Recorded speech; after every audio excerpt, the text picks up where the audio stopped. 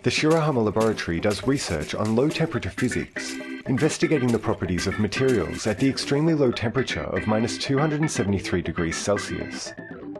Phenomena in the microscopic world of elementary particles and atoms are dominated by quantum mechanics. In quantum mechanics, the basic concept is that particles have a wave nature as well as a particle nature.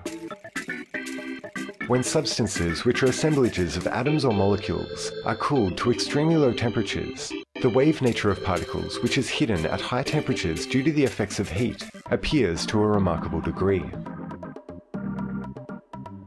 えそういったその波としての性質が現れてくる現象で、え最もよく知られているものが、え金属の中の電子が、え抵抗をゼロにするという、え超伝導という現象あるいは、え液体ヘリウムが粘性を失うという超流動という現象になりますで私の研究室では特にこのヘリウムが示す超流動という現象に、え関心興味を持って研究を進めています。The superfluidity of helium indicates a state where liquid helium has lost its viscosity and its wave nature appears to an extreme degree. It's been found that in the superfluid state, special properties appear. The fluid creeps up the walls of its container, and it can penetrate extremely small spaces that are only passable by single atoms.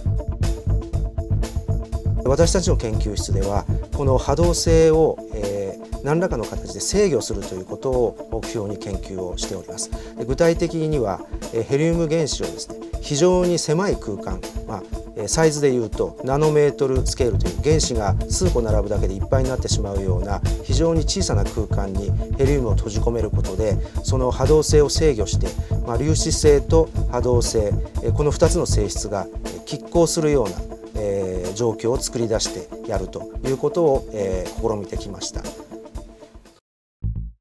If the particle nature and wave nature of substances can be controlled, it will be possible to freely create a superfluid state. In the superfluid state, it's possible to control the phase of helium, and the researchers think that this could be used to make a gyroscope that can measure the Earth's rotation rate.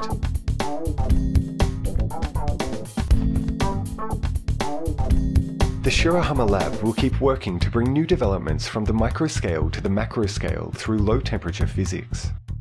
低温物理学の研究には非常に低い温度を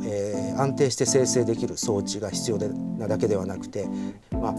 低温で測定するためには発熱が少ない必要があるなど非常に微小な信号を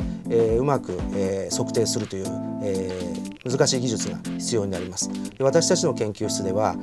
過去あるいはこれからもですね主に国の科学研究費の援助を得て実験装置の充実に努めてきました。でそのおかげで、まあえー、国内ではですね、えー、かなりトップクラスの、えー、規模を持つ低温物理学の研究室があのできております。